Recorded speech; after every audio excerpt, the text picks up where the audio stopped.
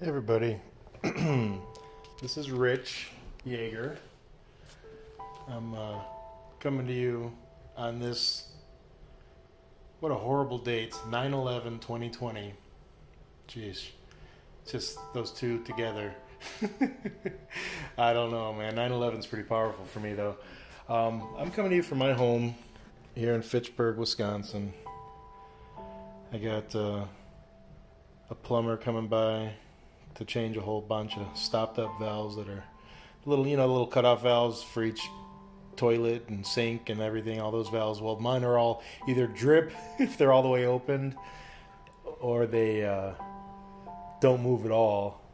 And so I can't uh, ever do anything. I got leaky faucets that I can't even take apart to see what's wrong with them because I can't shut off the valve. So I finally broke down and called a plumber.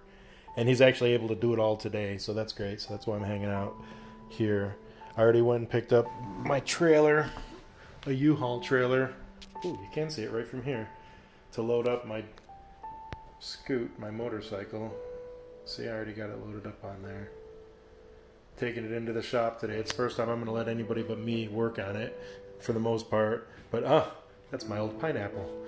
That's actual pineapple that I grew when I was a prospect for the club. Um, but today being 9 11, um, I wanted to share with you guys something I do every 9 11 now. And this is the only image I watch of the event, or try to, or that I consciously watch.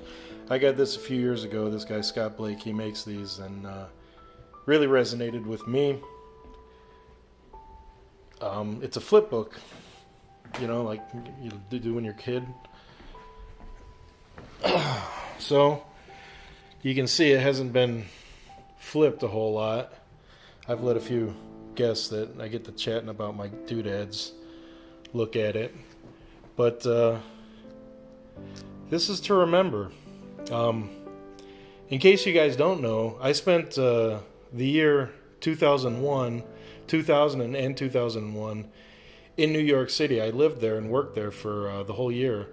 Um, I had an apartment up on First Avenue and 90th Street, right on the right on the corner, and I uh, built power plants in every other borough. We I lived in Manhattan and I built power plants in the Bronx, Queens, Brooklyn, Staten Island, Long Island, and uh, I was finished up in uh, the summer of 2001.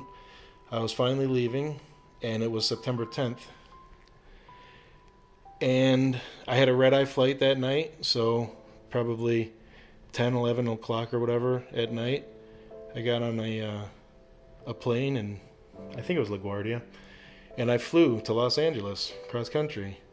Little did I know that in the few flights that followed mine out west were a bunch of fucking ass hat terrorists with box cutters that complacent people allowed to fly those planes into those buildings. And I found out about it. I got home early in the morning on September 11th to Bakersfield, California, where I lived, and I got in bed and I crashed out.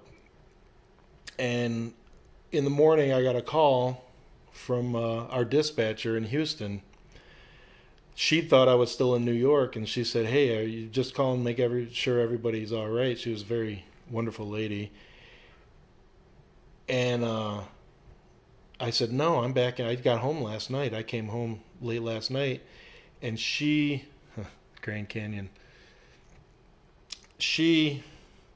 Said, "Oh my God! A, a plane flew into a, a building in the World Trade Center."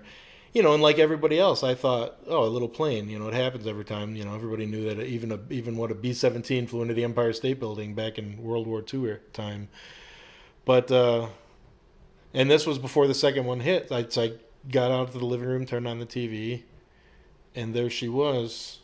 Um, and then, of course, while I was on the phone with her, and this I may be misremembering this. I, I this seems too perfect. I mean, for a story to be true and I sit back and I, I, should probably call her someday and ask her. but I swear I remember being on the phone with her when the second plane hit. And right immediately I thought, well, two is completely different. And I also, when they were showing the flames for the first one, I thought, uh, no, that's no, that's no Cessna. But anyway, I do this once a year. Uh, this little flip book by Scott Blake.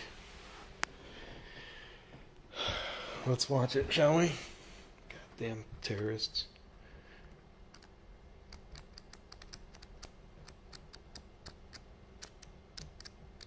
Ah, fuck.